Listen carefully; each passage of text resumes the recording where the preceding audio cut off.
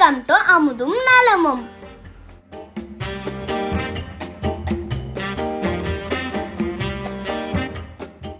உங்க வீட்டு kids banana or chapati சாப்பிடலன்னு வரி பண்றீங்களா? என்கிட்ட ஒரு ஐடியா இருக்கு. பனானா சப்பாத்தி. மகாவிஷ்ணுவோட இன்னொரு பெயர் தான் முகுந்தன். அதை தான் இந்த வாழைப்பழத்துக்கு வச்சுருக்காங்க. அது அப்படியே மருவி மொந்தன் ஆயிடுச்சு இது நாட்டு வாழைப்பழம் கூட சொல்லுவாங்க. இந்த வாழைப்பழத்தோட நன்மைகள் என்னன்னா உடம்புல இருக்கிற வறட்சியை போக்கி குளிர்ச்சி தரும். தேவையான பொருட்கள் பார்க்கலாம் வாங்க. ரெண்டு கப் கோதுமை மாவு. கால் கப் சர்க்கரை. தேவையான அளவு எண்ணெய். ஒரு கப் பால்.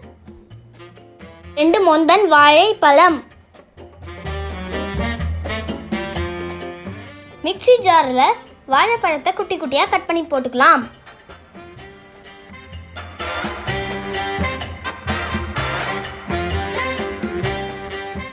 கூடவே கால் கப் சர்க்கரை ஒரு கப் பால் சேர்த்துக்கலாம்.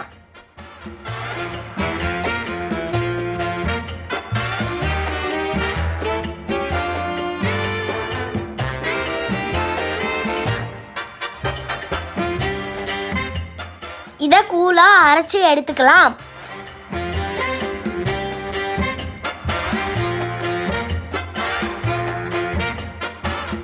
பாத்திரத்தில் கோதுமை மாவு சேர்த்து கூடவே அரைச்சி வச்சிருக்க பனானா கூலையும் சேர்த்துக்கலாம். மாவு பிசைறதுக்கு தேவையான எண்ணெய் சேர்த்து மாவை பிசைஞ்சுக்கலாம். மாவு பிசையறதுக்கு பனானா பேஸ்ட் பத்தலைன்னா தண்ணி சேர்க்காம பால் சேர்த்துக்கோங்க.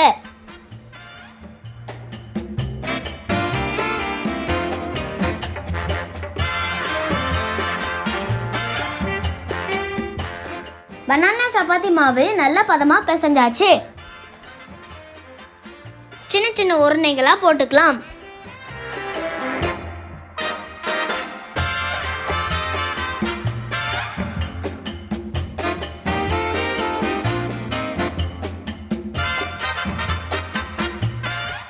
வாழைப்பழ சப்பாத்தி தேய்ச்சிக்கலாம்.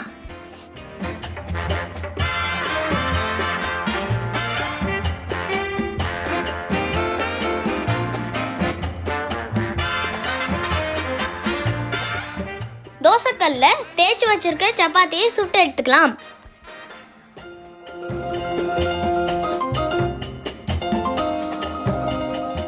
வாழைப்பழ சப்பாத்தி ரெடி. சப்பாத்தியில் வாழைப்பழமும் பாலும் சேர்த்துருக்கிறதுனால இது ஸ்வீட்டாகவும் இருக்கும் சாஃப்டாகவும் இருக்கும். இது சாஃப்ட் அண்ட் ஸ்வீட்டாக இருக்கிறதுனால கிட்ஸுக்கும் பிடிக்கும் பேபிஸ்க்கும் பிடிக்கும். உங்களுக்கு விருப்பம்னா சர்க்கரைக்கு பதில் நாட்டு சர்க்கரை சேர்த்துக்கோங்க.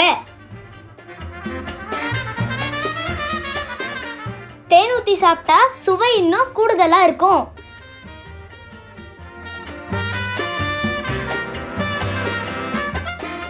இந்த வீடியோ உங்களுக்கு பிடிச்சிருந்துச்சுன்னா உங்களோட ஃபீட்பேக்ஸை எங்களுக்கு கமெண்ட்ஸில் கொடுங்க.